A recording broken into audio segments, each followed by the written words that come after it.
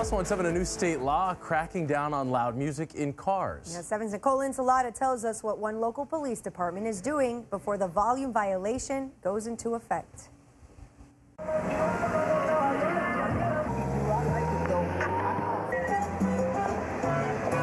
You may really like your music, but that doesn't mean everyone else wants to hear it too. And if you want to make sure everyone hears the noise, a new state law means you'll probably get a ticket.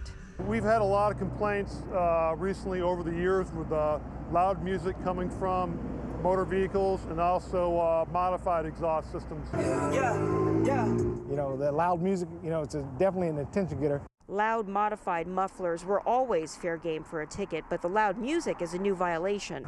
Now, an old Florida law that regulated loud music in cars was struck down by the courts about 10 years ago, but this new law says any driver whose music can be heard from 25 feet away from the car can still face a fine.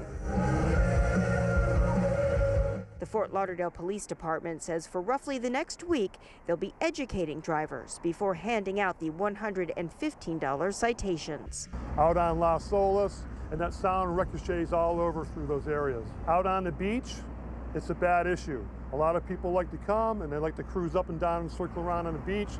It's a beach atmosphere. They like to play loud music. I get why they would have complaints from um, restaurant goers and stuff like that. I, I, get, I get that. Not everyone thinks the law is a good idea. How we know, like, what's the footage of all that stuff? So it's wrong. The law is wrong, sorry. When you hear a car coming with extremely loud music, it's very irritating. It's like a courtesy law. Be courteous to the next, the guy next to you. Nicole Insalata, 7 News. So this law goes into effect tomorrow, but right now Fort Lauderdale police say they are interested in educated educating drivers.